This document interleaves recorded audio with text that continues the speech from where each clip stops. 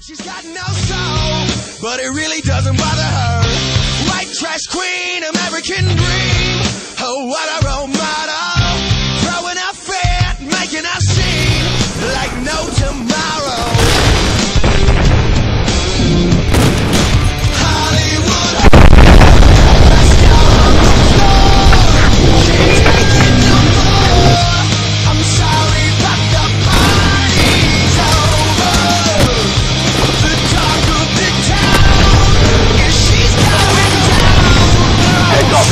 ESD funds.